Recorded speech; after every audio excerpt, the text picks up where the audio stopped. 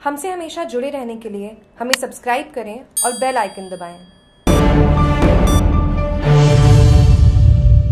पाली ज़िले के तीन दिवसीय दौरे के तहत मंगलवार को डीआईजी अशोक गुप्ता ने पुलिस लाइन का निरीक्षण किया। इस दौरान पुलिस अधीक्षक राहुल कोटोगी के साथ आला अधिकारी भी मौजूद रहे। डीआईजी अशोक गुप्ता के पुलिस लाइन पहुँचने पर पुलिस के जवानों ने गार्ड ऑफ़ ऑनर देकर स्वागत किया गया। इसके बाद डीआईजी अशोक गुप्ता ने क्वार्टर परिवहन शाखा, एमटी, सशस्त्र भंडार, मैस एचएम कार्यालय सहित पुलिस लाइन का निरीक्षण किया। इस दौरान परिवहन शाखा में खड़े वाहनों के लॉग बुक के साथ गाड़ियों का एवरेज को लेकर चर्चा की। इस मौके पर पुलिस अधीक्षक राहुल कोटोगी, अतिरिक्त पुलिस अधीक्षक doctor Tejpal Singh, CO city Nishant Bhardwaj, CO ग्रामीण श्रवण सन औद्योगिक पुलिस थाना प्रभारी सवाई सिंह सहित पुलिस के कई अधिकारी मौजूद रहे।